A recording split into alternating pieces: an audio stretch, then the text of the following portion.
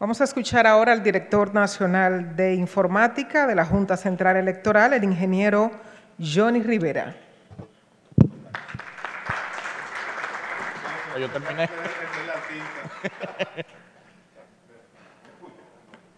Vamos a ver.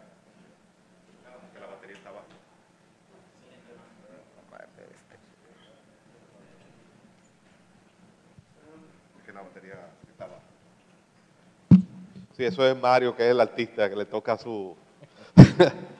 bueno, a mí me toca eh, explicarle un par de temas. Primero, la composición del padrón electoral, en términos ya de un poquito más de detalle. Mario le dio algunas generalidades sobre el padrón, como las cantidades generales, pero vamos a ver ahora cómo se desglosa ese padrón en términos de grupos etarios, en grupos eh, de edad, eh, de, sexo, el exterior, el local. vamos a ver. El padrón general, ustedes vieron ahorita, es de 8.145.548 electores, divididos en 7.281, 7.281.764 del padrón local y 863.784 del padrón del exterior. Ese padrón del exterior, como ustedes van a ver más adelante, se constituye en el 11% del padrón total, lo constituye el padrón del exterior. Es superior a 31 provincias locales, si solamente está superado por la provincia de Santo Domingo. Pero ese padrón del exterior supera al Distrito Nacional, la provincia de Santiago, la provincia de San Cristóbal, que son cuatro de las más grandes junto con la de Santo Domingo. Como ustedes ven, la, la conformación en términos de edades, en términos de edades es eminentemente un padrón joven, los eh, jóvenes según Harvard, que es hasta los 35 años, porque yo digo que hay unos jóvenes adultos, eh, son un 37% que tienen menos de 35 años, pero si llevamos eso a 55 años, vemos que ahí está la gran proporción del padrón, prácticamente un 70%, es menos de 55 años. Igual el grupo eh, femenino se constituye en una mayoría, es un 51.27% del padrón total. Vamos a ver ahora cómo se desglosa eso en términos del padrón del exterior y el padrón local. En el padrón local, nosotros tenemos 32 provincias y 45 demarcaciones electorales. Tenemos las 45 demarcaciones electorales, porque como ustedes vieron con Mario, en, algunos, en algunas provincias tenemos circunscripciones. Eso nos lleva a 45 demarcaciones donde se van a estar eligiendo diputados de manera local. Y las 32 provincias donde vamos a elegir los senadores. Si se fijan, ahí se mantienen la misma proporción de las edades, es decir, en el padrón local, eminentemente la población es joven y la mayoría siguen siendo las mujeres. Es, importante que ustedes vean un número ahí. De 18 a 25 años es un 16.74% y de 26 a 35 un 22.62%. Si estamos hablando de casi un 39% de menos de 35 años. Pero eso es en el padrón local. Si nos vamos al padrón del exterior, vemos que la cosa es un poquito diferente. ¿Mm? Ya aquí los jóvenes no son la mayoría. Eso es, cuestión de, nosotros decimos de arraigo.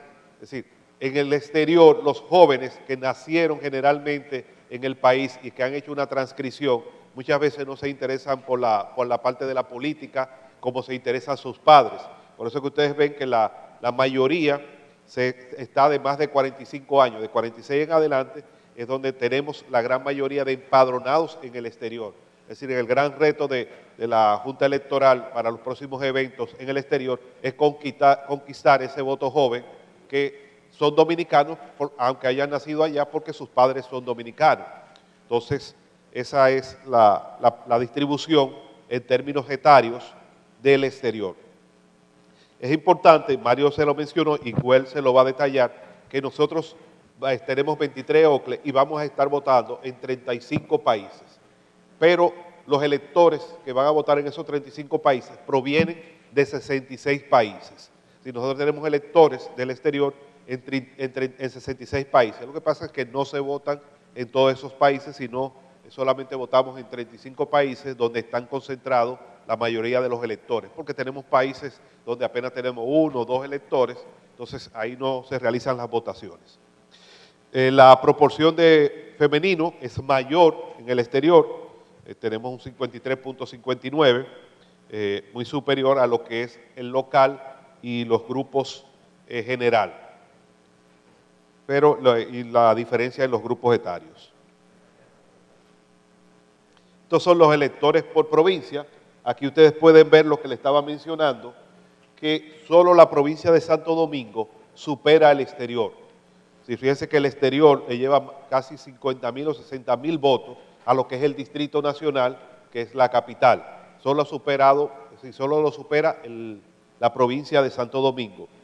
Como le decía, las cuatro provincias principales, Santo Domingo, Distrito Nacional, Santiago y San Cristóbal, tienen aproximadamente el 48% de la votación total del país.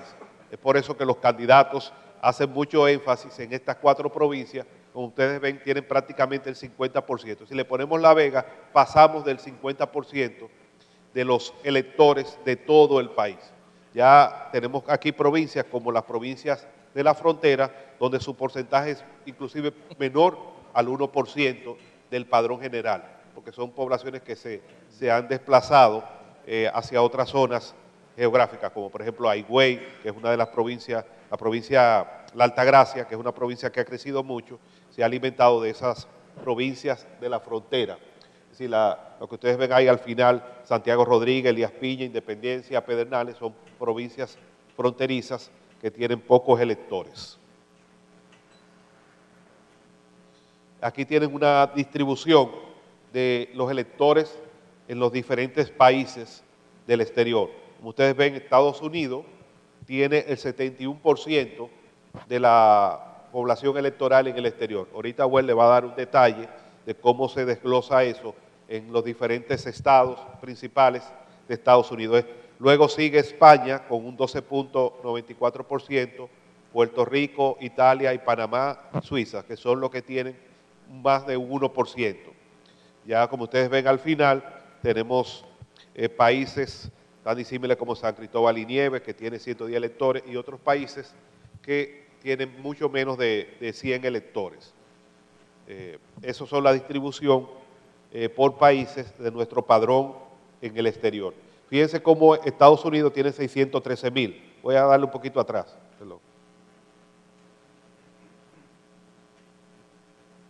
Fíjense, 613 mil. Fíjense que supera solo Estados Unidos, es superado solo por tres provincias.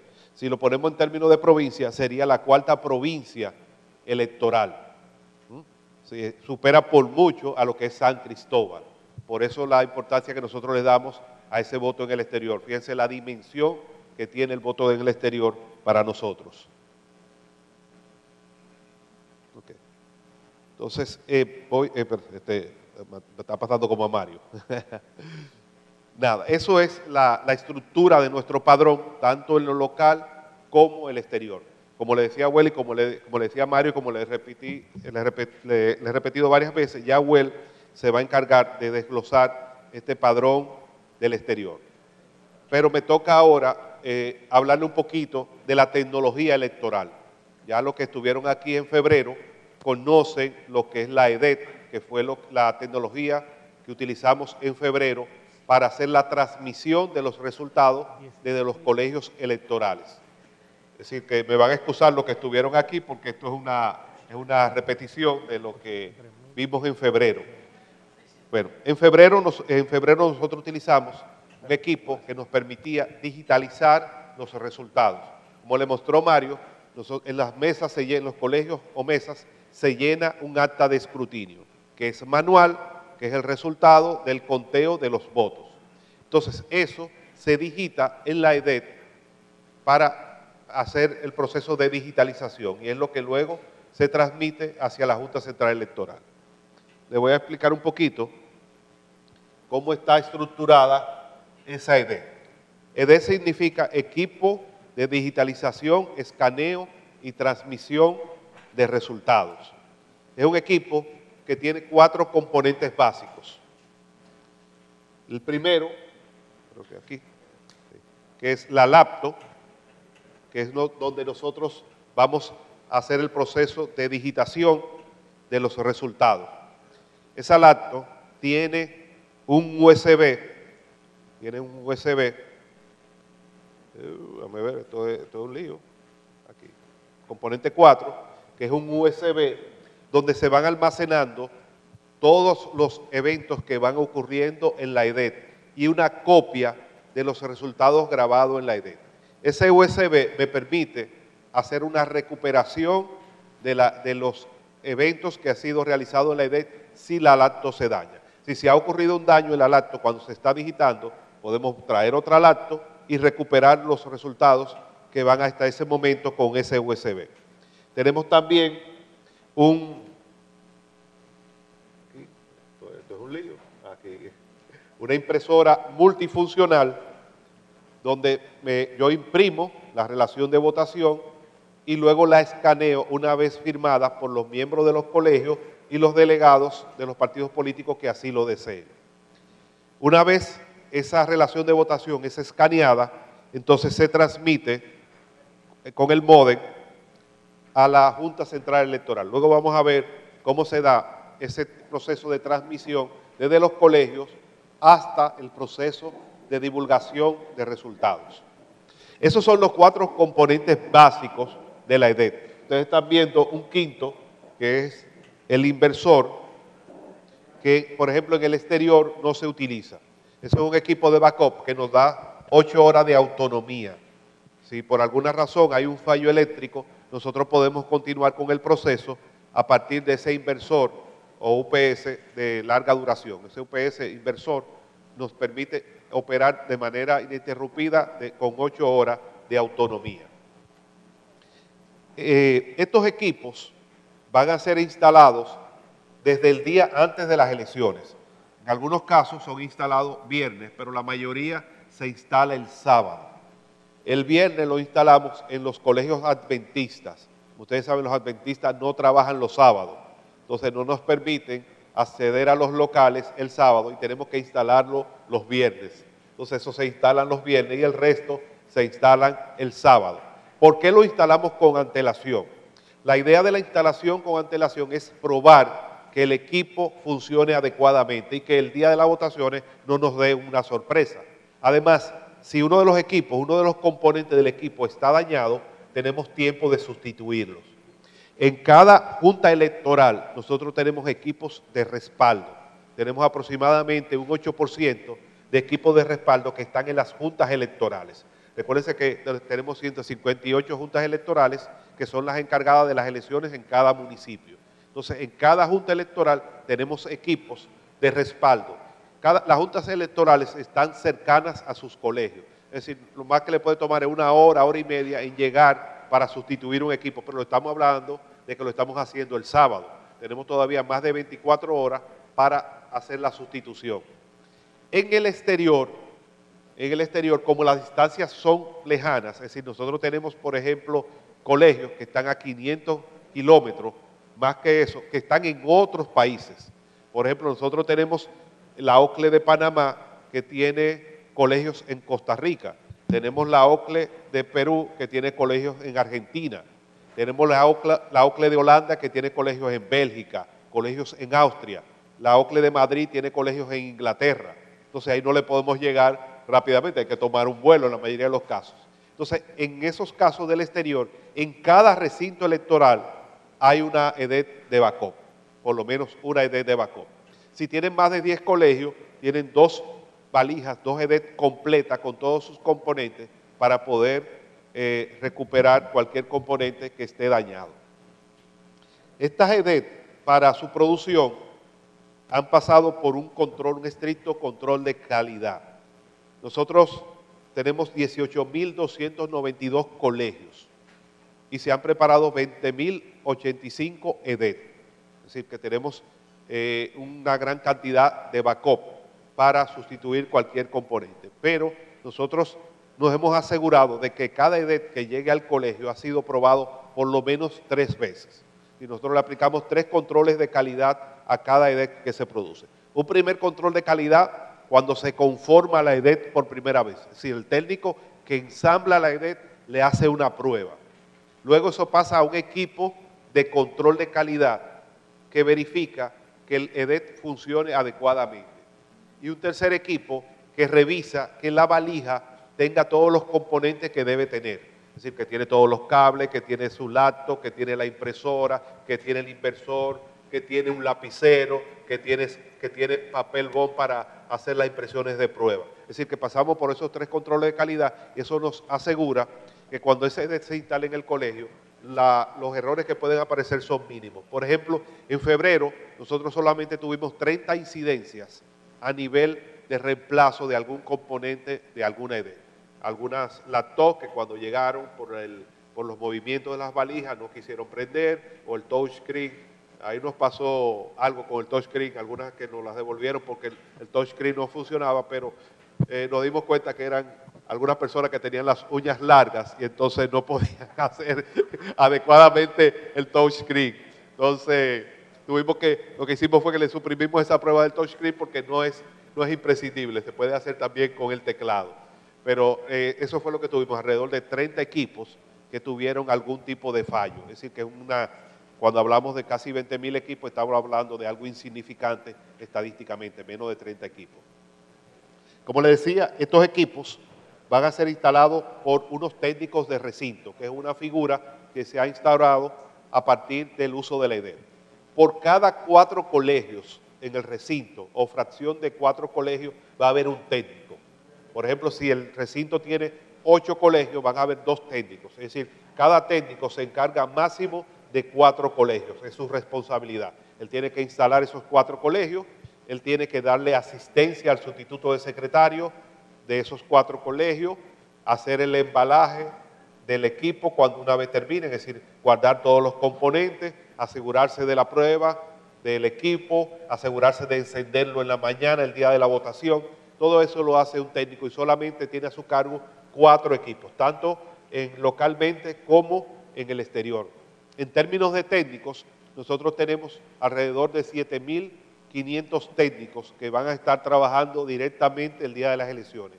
Tenemos 545 en el exterior y 7.100 y, y algo aquí localmente. Pero aparte de eso, tenemos 900 técnicos eh, en local repartidos, 400 que van a estar moviéndose alrededor de los recintos para darle soporte y tenemos 500 de backup. Es decir, que estamos hablando de casi 8.000 técnicos que van a estar desplazados para trabajar solamente con la EDET. ¿Cómo vamos a hacer la transmisión de los resultados desde los colegios hasta ya lo que es la divulgación de resultados? Yo le tengo aquí un diagrama, como nosotros decimos, a 10.000 pies de altura, no con detalles técnicos, sino un diagrama más bien funcional de cómo se da la comunicación de los resultados. Lo primero es que tenemos la, la EDET en el colegio electoral. Esto, ah, es un lío. Ahí. Eh. Sí, sí, ahí. Ahora sí tenemos la EDET en los colegios electorales. La EDET transmite hacia la Junta Central Electoral. Si la Junta Central Electoral recibe todas las transmisiones de la EDET. De la Junta Central Electoral, esos resultados, tanto la imagen de la relación de votación como sus datos, van a las juntas electorales o las OCLE, en el caso del exterior. Y simultáneamente van a los partidos políticos simultáneamente con la transmisión hacia la Junta Electoral, las OCLE, nosotros transmitimos a los partidos políticos. Es decir, ellos reciben de inmediato la información. Es decir, ellos van recibiendo todos los datos preliminares de lo que va ocurriendo en cada colegio electoral. Una vez esos, datos son recibidos por las juntas electorales, ellos conforman, y las OCLE, conforman los llamados boletines. Un boletín no es más que un conjunto de colegios que se han resumido para dar unos resultados. Por ejemplo, en nuestro caso, nuestro primer boletín, como ustedes han visto en la resolución, se va a dar con el 20% de los votos del municipio. Por ejemplo, si el, colegio, si el municipio tiene 100 colegios, una vez llegue a 20, eh, a 20 colegios va a generar un boletín con esos 20 colegios. Si no tiene los 20 colegios y le dan las 8 de la noche, va a generar el boletín con la cantidad de colegios que tenga ya disponible. Una vez se genera ese boletín, ese boletín anteriormente tenía dos, dos destinos. O iba a la Junta Central Electoral para su divulgación, o si había algún descuadre, iba a lo que se llamaba la mesa de validación. La mesa de validación estaba conformada por delegados de los partidos políticos y miembros de la Junta Electoral para dilucidar los descuadres. Pero como ya no hay descuadre, esa mesa en febrero, por ejemplo, quedó ahí como algo de, backup, es decir, solo como un respaldo en el caso de que alguna idea no funcionara adecuadamente y se tuviera que usar la contingencia, entonces se usaría la mesa de validación. Pero la mesa de validación no se usó para eh, boletines o actas descuadradas. Entonces, ese boletín, el otro destino es ya la prensa y la divulgación. Si lo que ve la prensa son los boletines y el público en general, es decir, ya los datos consolidados es lo que nosotros divulgamos. Es decir, la Junta Central Electoral recibe de las juntas electorales todos los boletines para ser transmitidos al público general y a la prensa que está recibiendo completamente en línea esos boletines. Es de señalar que la prensa no ve los resultados, vamos a decir así, del Internet como lo ven todo el mundo, sino que ellos tienen una conexión directa a nuestros servidores, nuestros servidores de premisa, la prensa se conecta directamente con ellos para eh, eh, poder mostrar los resultados. Lo hacemos así porque, como ustedes saben, todo el que está en un proceso electoral sabe que lo que más se congestiona es un Internet en el momento, sobre todo de la, de la presión eh, de, de, cuando comienzan a salir esos primeros boletines. Por ejemplo, nosotros aquí hicimos pruebas con 4 millones simultáneamente probando la página y tuvimos un pico en febrero de 12.5 millones.